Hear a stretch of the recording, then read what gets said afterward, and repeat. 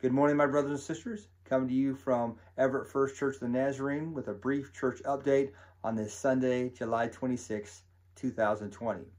Uh, our church services are going on as they have been.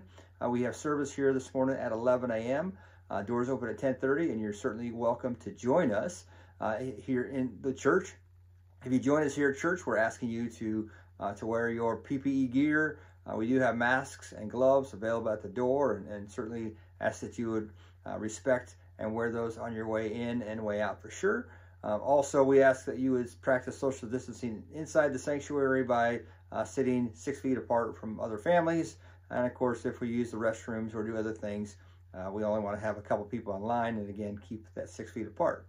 Uh, if you're not feeling well at all, or if you uh, just aren't ready to come yet, uh, that's okay too. We are, we will have our Facebook Live page going on this morning uh, at 11 o'clock. We are doing uh, some some new equipment today and testing, so we'll actually probably start that live service just a little bit early, uh, just to try to make sure it's working. Uh, of course, we do have a backup plan in place in case uh, I fail to get it all set up properly today. But hopefully, it will go well and be a, a great thing if you're at home.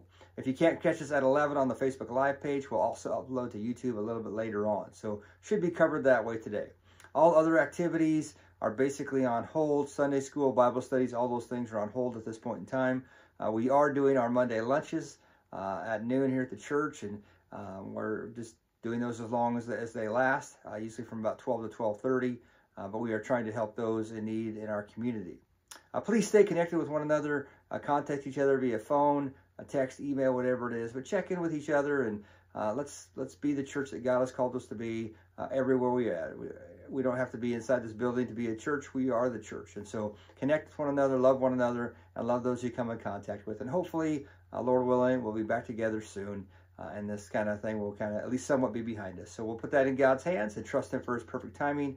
Uh, and all that we're about to do, we put in God's hands. We love you today. Well, we hope to see you, those who are comfortable in coming. And we are praying for those who are sick or, or otherwise unable to come. So God bless. We'll see you soon.